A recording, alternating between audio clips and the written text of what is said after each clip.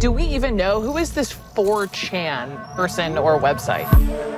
15 years ago, we were just dumbass kids having a good time, sharing jokes and memes on the internet. Their name comes from their secret website.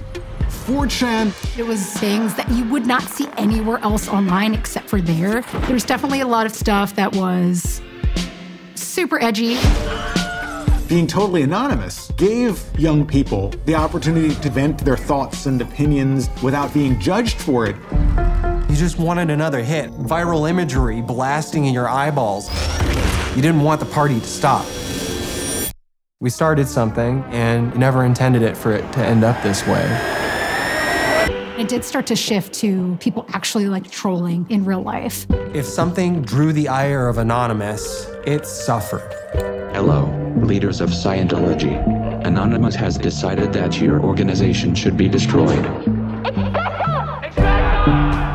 What drives user base numbers and revenue is anger. So Facebook or Twitter is making more money as users are getting angrier. As the internet gets 4chanified, it's easier than ever to make really dark, disgusting, or screwed up things. And they can let it spawn in that environment until it spreads everywhere. We've all participated in undermining reality, but we never wanted things to turn into a living cartoon.